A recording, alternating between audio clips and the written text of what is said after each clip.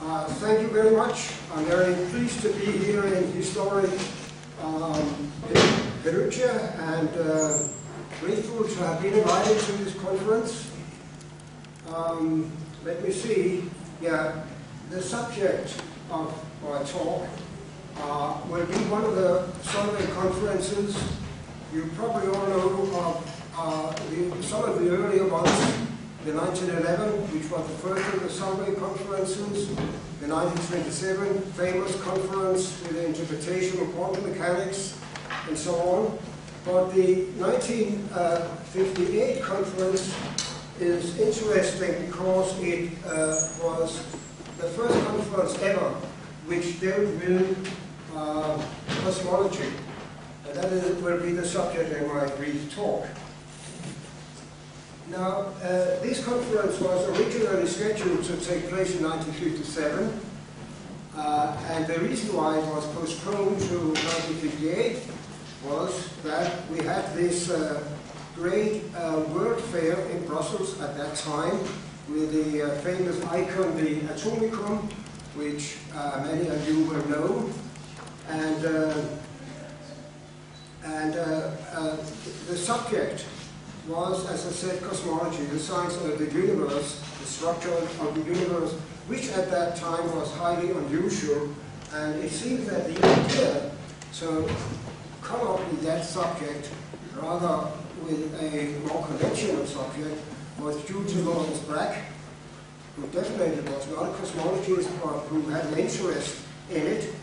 And uh, he says in a letter from early 1957 to a Danish theorist, Christian Møller, uh, I think this is a great idea because then we can convene cosmologists, physicists, and astronomers. Wouldn't that be a good idea? And of course, Møller thought that it would be a good idea. Uh, and so uh, uh these uh, some uh, 20, 30 scientists convened based on that subject. However, because, before I go into the content, what happened at the conference. I need to say a few words about the status of cosmology at the time, which was entirely different from what it is today. Uh, first of all, cosmology had a very low reputation. There were seriously many scientists who doubted if cosmology could be a science and, if, and in its present state it was not. It didn't simply didn't live up to the criteria of being a science. And we have numerous expressions of it, uh, such as, as these ones, all from the 1950s. Uh, Oscar Klein, for instance, the great Swedish theorist who participated in the conference, he says that it's a field where personal taste would greatly influence the choice of basic hypotheses. And Martin Ryle, the British radio astronomer and later Nobel laureate, whose work did a lot to make cosmology a science, he says in an earlier article, cosmologists have always lived in the happy state of being able to postulate theory which had no chance of being disproved. Uh, I should also mention perhaps if you have come across this last quotation by Landau, and it is, one can find it in many publications. In all likelihood, it is apocryphal. I mean, he, it has never been documented that he said that, but it's a good quote. Um, the uh, low reputation of cosmology at the time is also illustrated by, by uh, the fact that very few scientific papers were written on that subject. Uh, it was a very small field, and I'll, I'll illustrate that uh, with a graph which is not uh, based on my own uh, data, but I've taken it from an earlier article. This is the number of uh, scientific articles on cosmology uh, taken from the, uh, uh, the, the, leading review journal at the time, Physics Abstracts. And this is the absolute numbers. As first of all, you can see that throughout the entire period, very, very few articles were written.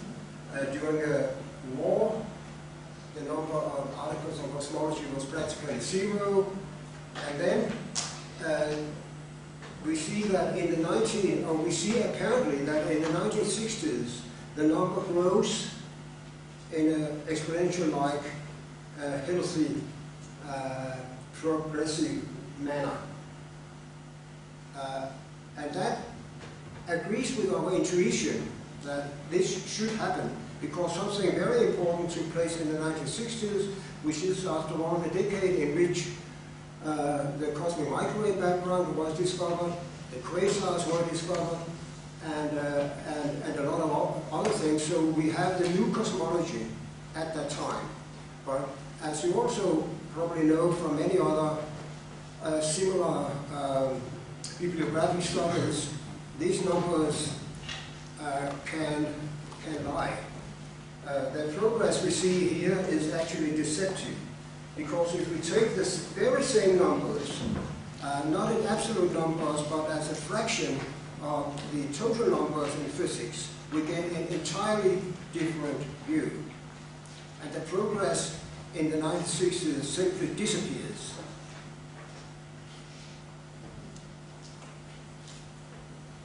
The, uh, the lack of interest uh, of, uh, in cosmology at the time is also illustrated by the fact that there were no departments, university departments in which cosmology was taught. Uh, there were very few courses, and uh, if students of physics met cosmology at, at all, it was uh, in courses on general relativity, of which there were very few as well. And there were very few textbooks as well. Uh, maybe, well, depending on how one uh, defined textbook, I would say that there were perhaps four or five textbooks. Uh, briefly mentioned them. Um, the American physicist uh, Richard Tolman wrote in 1934 a very important work on relativity, thermodynamics, and cosmology. Uh, this work was used still at the time, but it was obviously it was dated, going back to 1934. Uh, then there was an excellent, uh, very precise and updated work by the German uh, astronomer Otto Heckmann, Theorien der Kosmologie, which was known to a few specialists, but it was published in 1942 in the midst of the, of the war. It was published only in German, so it was known by very few people uh, in spite of its great uh, intellectual qualities. Though there's no doubt that the best uh, book or kind of textbook in the period was Hermann Bondi's work with the simply called Cosmology, which was published in 1952 in its first edition and came out in the second edition in 1956. That book, although it was widely used, was also, um, think one can say that it was somewhat biased uh, towards the steady state theory of which Bondi was a leading advocate. So, uh, um, much of the, um, many of the discussions uh, at the 1958 Solvay Conference uh, deal directly or indirectly uh, with the controversy between the two leading views of the universe. I have to say a little about this because uh, I guess that nowadays the steady state theory of the universe is not uh, widely known. As if it is known, it's definitely known to be wrong. Um,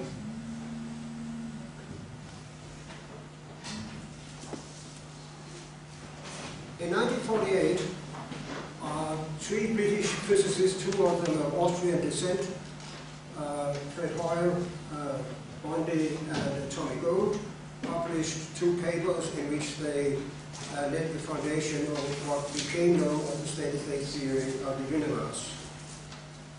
Uh, they were dissatisfied with uh, the, um, the common view of the universe, which was based on uh, Einstein's cosmological field equations, and uh, uh, these are some of the uh, motivations, some of the reasons why they came up with this uh, completely different view of the universe, where the universe has always existed, there's no beginning of the universe, there's no end of it, and the universe at a very large scale has always looked the same, and will always look the same, the so-called perfect cosmological principle.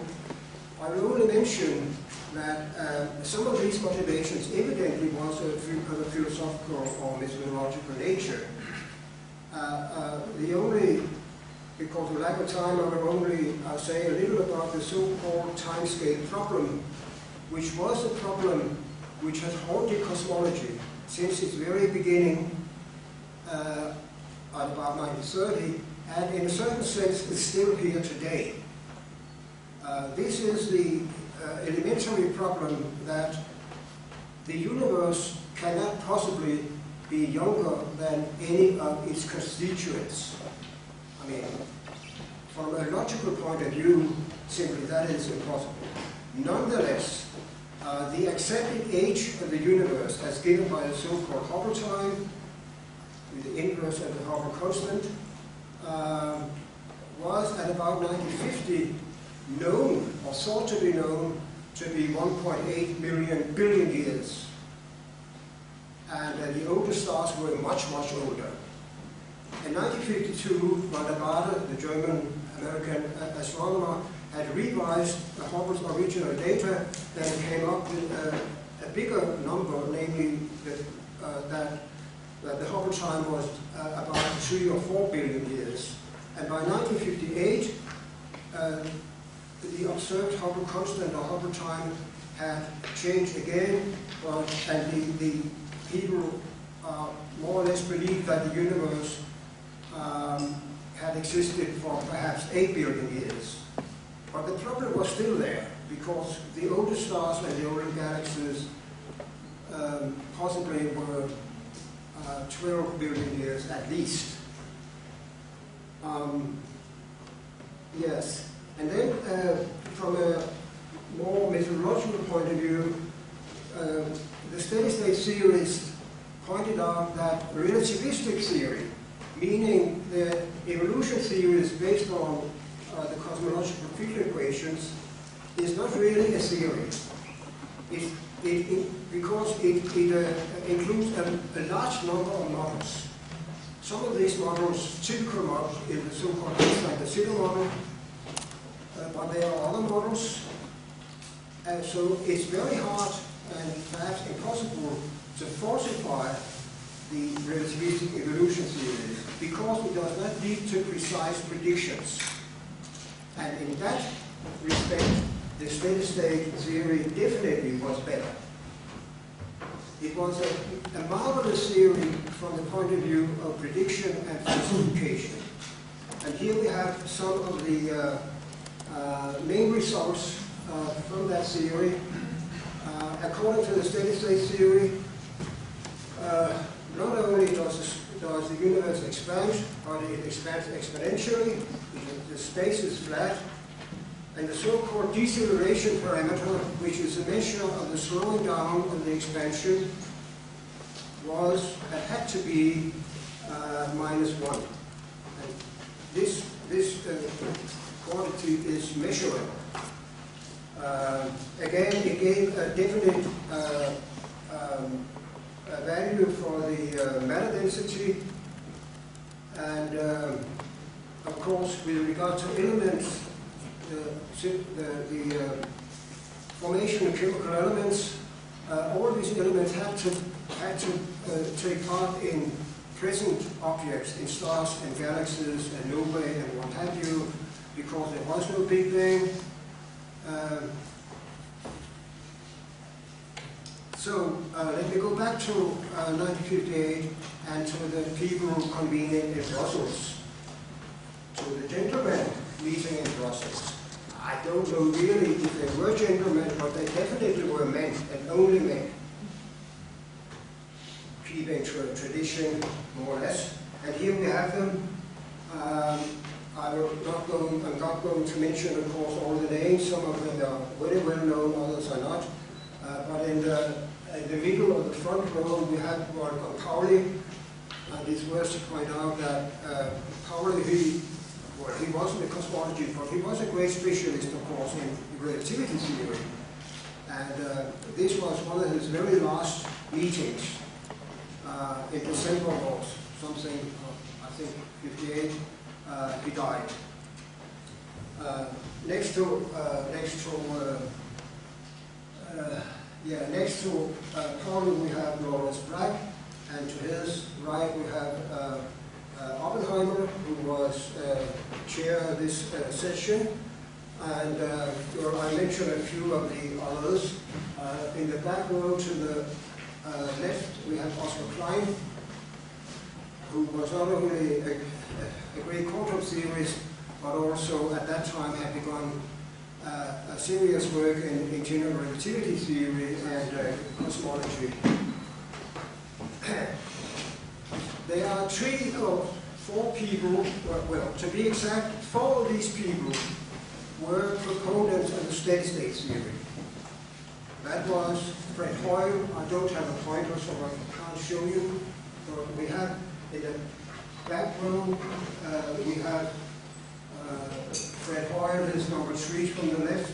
Then we have uh, Henry Bondi, we have Tommy Gold, and the gentleman uh, in the front row to the left is the Irish-British uh, relativist and cosmologist um, William McCrea. So four of these uh, were uh, advocates of the steady state theory. And it is remarkable that um, the only person who was in favor of an explosion theory of the universe, a kind of Big Bang theory, uh, was Georges Lemaitre. I'll come to him in a, in a minute.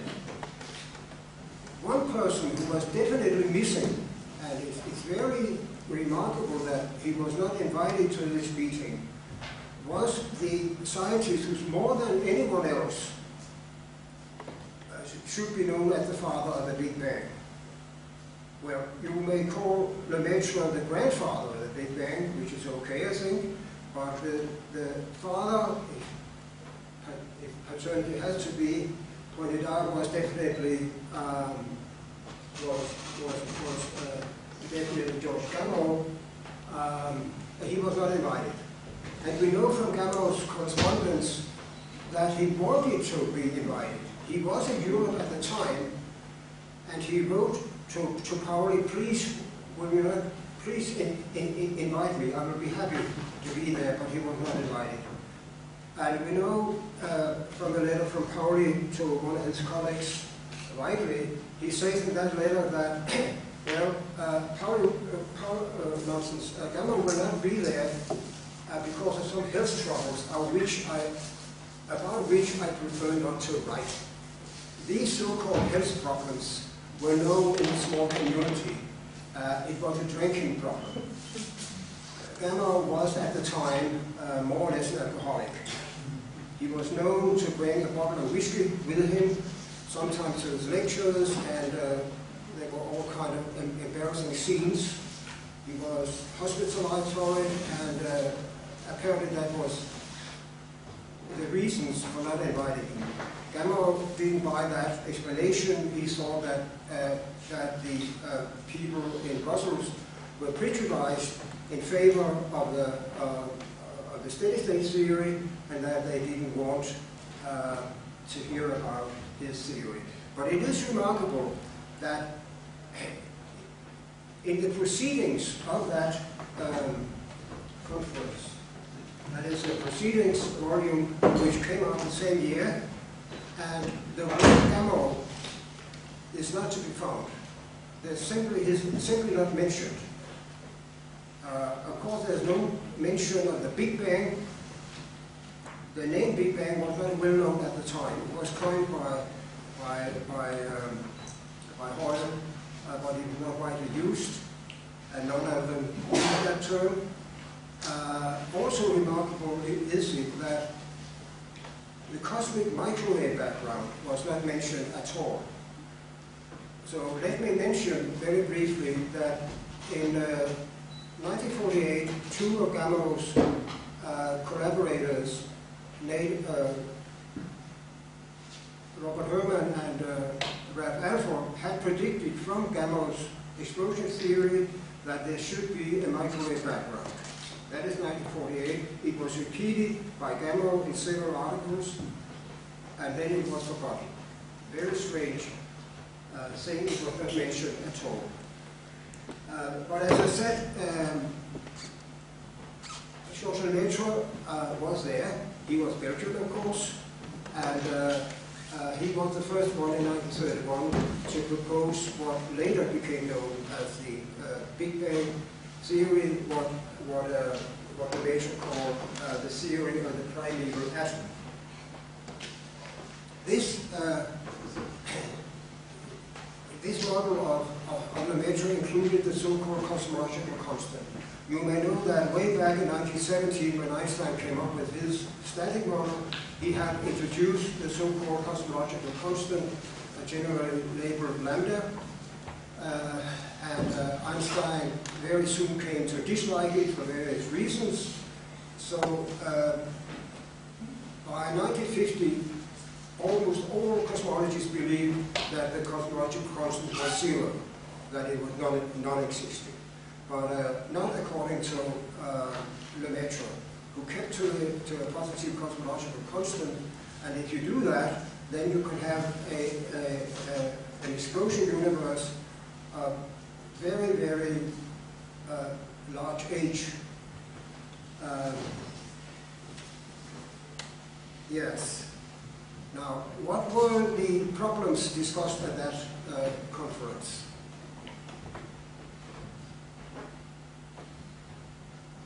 people, of course, discussed uh, how to test these two antagonistic models, uh, kind of models. One was the steady state model, of course, and it, as, I, as I indicated, it led to various precise uh, predictions, and the other was a class of relativistic evolution models, not necessarily Big Bang models, but evolution models.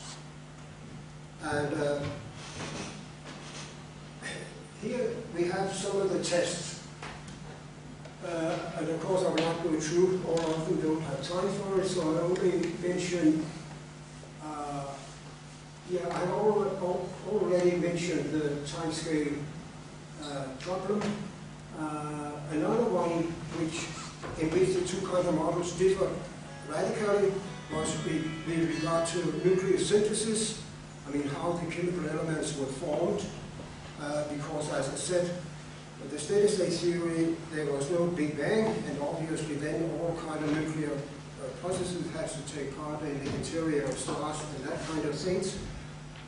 And uh, Fred Hoyle was a great specialist uh, in uh, nuclear physicist, uh, in, in, in, nuclear, in stable nuclear reactions. He was trained as a, as a nuclear physicist. And um, just the year before 1948, uh, Hoyle and his three collaborators, uh, Burbidge and Burbidge, Margaret Burbidge and, uh, uh, well, the other Burbidge and, uh, and, and Fowler, had written a um, very, very important paper. Actually, it, it filled out uh, the entire review of modern physics. It was a paper more than 100 pages.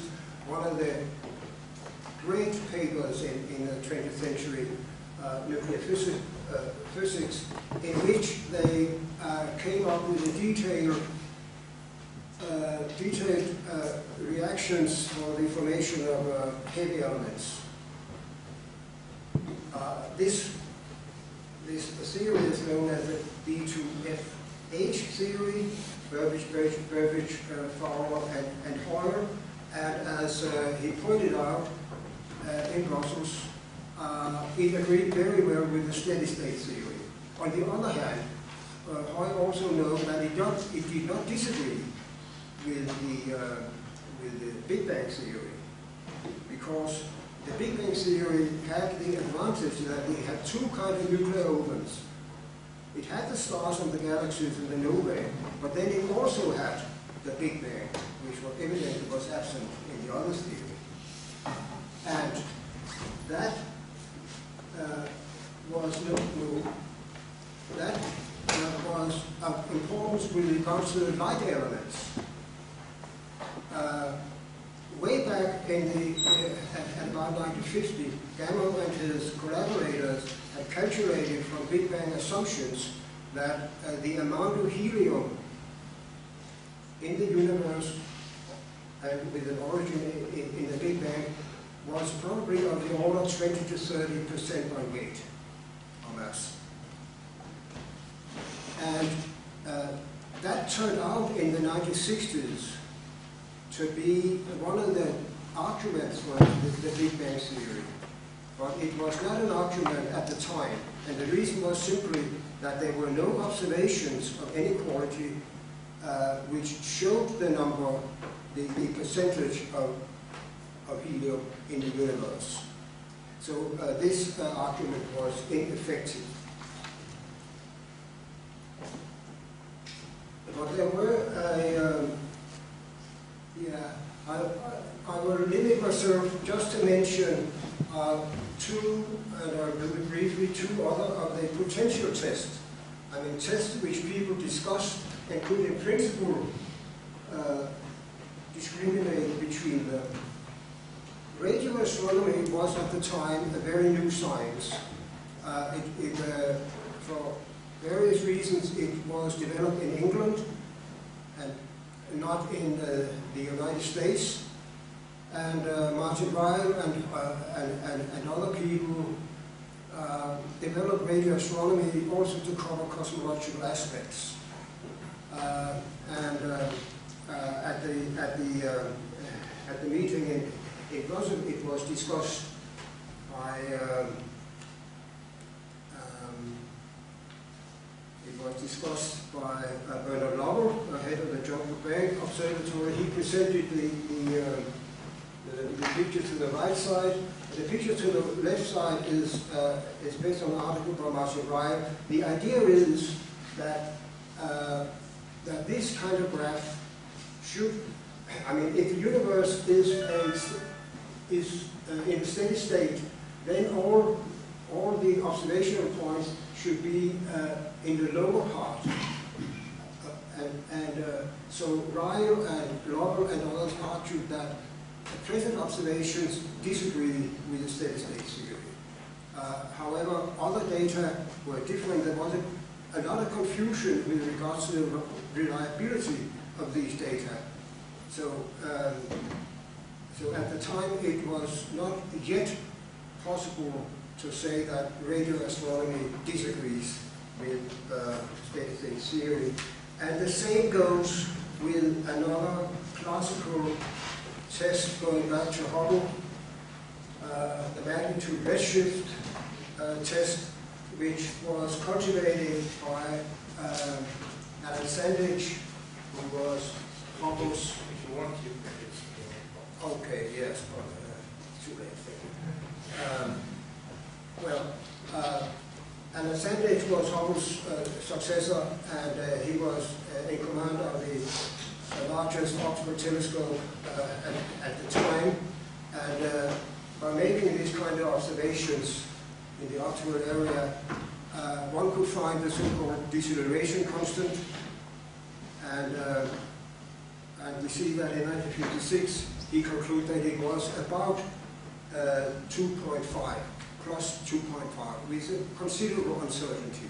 It is very, very different from the minus 1 predicted by the steady state theory. And, uh, uh, and uh, concludes, quote, that this steady state theory does not fit the real world. He was right, of course, but he couldn't have known it at the time. The, the, uh, the data were not good enough. So let me end by uh, saying that uh, that this meeting in, in, in, in, um, in Brussels was important because it gave for the first time um, it, it, uh,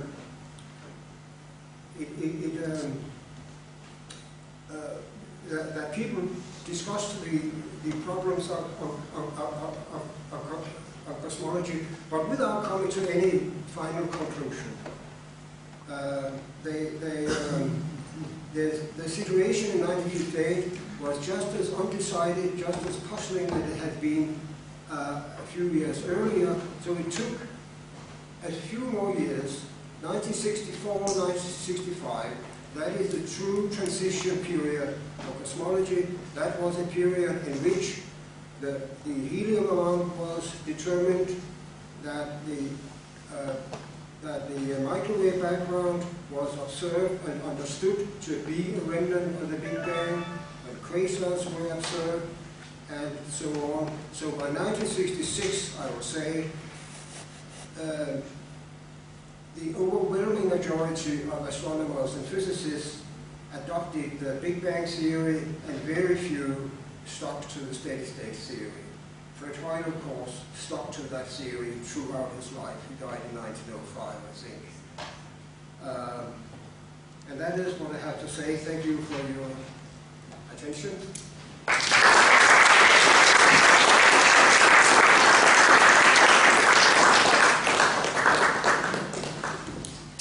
Thank you very much. uh, Thank you very much. Um, so there- there's a few minutes for discussion, six, seven minutes. So I open the floor to questions, a comment from the audience on this. That Adele? So I give the microphone. I don't know if it's really necessary. Thank you very much for your uh, wonderful talk. Uh, I was just wondering if you can expand a little bit about the uh, helium problem, how did, uh, it, I did not follow very well when this uh, became um, an evidence and uh, how then this was overcome uh, later.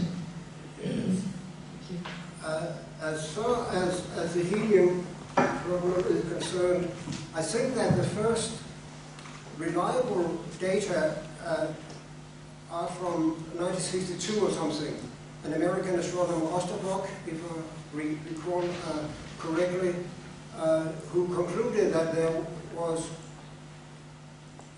much, much more helium in the universe than could be explained from, from a, a stellar nuclear reaction and things like that. And then uh, uh, in 1965 it was calculated on the basis of the Big Bang theory uh, by Jim Peebles and others who came up with about 30% or so, and, and, and not only helium, but also uh, the heavy uh, hydrogen, deuterium. Um, so, and, and I know that Jim Peebles have, who's fortunately still alive, and he has gone back in the literature and he has uh, examined the original uh, calculations of Gamow and his collaborators, and uh, uh, he concludes that they were uh, rather fortunate to get the right order of magnitude of, of helium. But if they had done their calculations correctly, they would have gone another and, and not so good uh, amount of helium. Um, yeah. Thanks. Are there other questions? Are there other questions? Uh, otherwise, I had one. Uh, so thanks a lot. You gave a wonderful overview of what was the status of cosmology in the 1950s to um, uh, at the time of the 1958 Solvay conference. Uh, so the question is, if the status of cosmology was so low, many people thought that it was uh, still uh, science in its infancy, uh, where philosophical consideration played a lot of role. Why the Solvay conference was organized on cosmology, given the fact that the Solvay conference were known to be a, uh, choosing uh, fields which were on the front, on the frontier, right? I mean, this was how the Solvay conference um, the organizer described itself, at least this was certainly true in, before World War II. So after World War II, there was certainly a different situation. And as you know, there are some people who describe, describe a certain sort of renaissance or general relativity in the 1950s, which include this kind of attempt to build a community through conferences. So I'm wondering why did they choose the cosmology as an important topic and did, didn't even invite one of the two contenders in the possible controversy at the time. I, it, it is a little uh, surprising, and it's also surprising that the, uh, that the proposal apparently originally came from Lawrence Bragg, who was known from something very different. But Bragg was British, and the steady state theory was very much a British theory.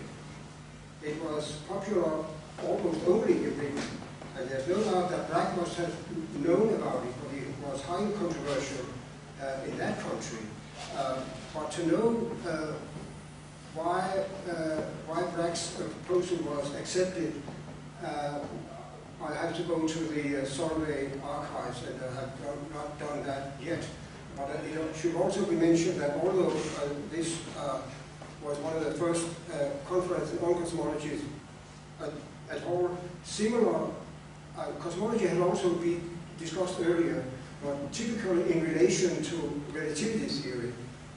For instance, as you know better than anyone else, in 1955 there was the Jubilee Conference uh, on Einstein's relativity theory in Bern, 1955, a very important conference, and several of the speakers in, in these relativity conferences spoke about cosmology. Um, but of course not steady state theory. Uh, I think in 1955, relativity conference, Hoyle was there too, uh, but I can't remember if actually spoke on the state theory. Uh, Bondi was in the Bern conference. He- yeah, He was there, yes. yeah. So you, you just introduced the steady state and. Uh, um, and now I wanted to ask, well, are there other questions? Otherwise, I have another one. Are there other questions on the? Um, so in the, the conference in 1958, there was also uh, an interesting discussion between Wheeler and Oppenheimer on the contraction, gravitational contraction of stars. How was this related to the cosmological? uh, Because they discussed and Wheeler was very skeptical on the Oppenheimer-Snyder contraction hypothesis based on gravitational uh, theory of general relativity, essentially. So about whether uh, after, uh, over a certain mass, star would go into collapse, gravitational collapse. And but how was treated to the to the general topic of the conference? Uh, yeah, it's true. Uh, Wheeler gave a talk, a very, very long talk, uh, which, uh, uh, uh, but he did primarily, uh, if I recall it, uh, with problems in general re- relativity and with collapsing stars and things like that. I don't think he, in the discussion session, he says, uh, and Oppenheimer says too, that they, they did not believe in the steady state theory. Um, but Wheeler was not, I, I, I don't think he was very much occupied with cosmology as such. And, and the same goes for Oppenheimer. Yeah, thanks, thanks a lot. Uh, Adele?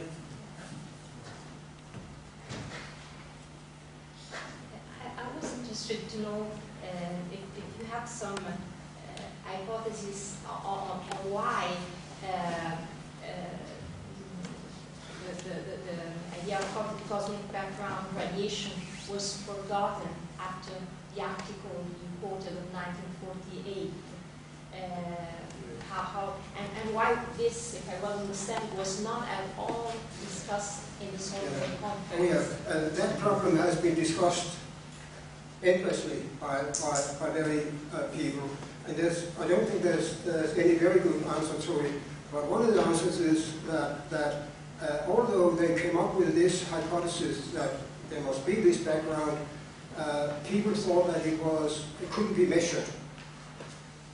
Uh, and, but it is remarkable that, that, uh, that the, the, the Gamows uh, Big Bang theory was dead for a period, but not, I mean, literally dead. From 1953 to 1964, there was published one paper on Big Bang theory. So over a te- 10 years uh, period, it was dead, and that may have been another reason for why uh, not inviting uh, Gamow. Uh, I mean, why should we discuss a theory which nobody cares about. Um, yes. Thanks a lot. I think there are no other questions. We can uh, thank again Herbert